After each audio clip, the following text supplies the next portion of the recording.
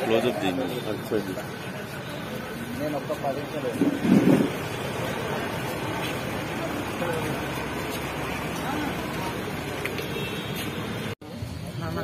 రేవంత్ రెడ్డి గారు ఒక press meeting పెట్టి ఓకే.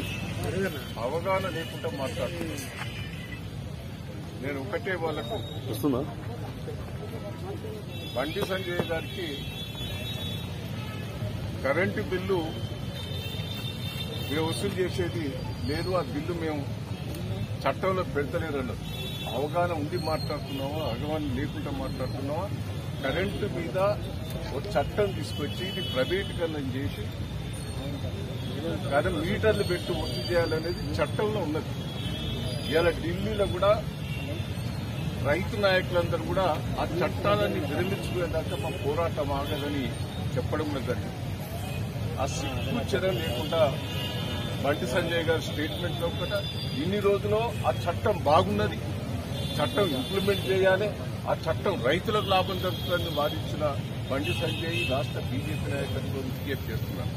మీ మోడీ గారే ఈ చట్టం రైతులకు ఇబ్బందికరమైనది.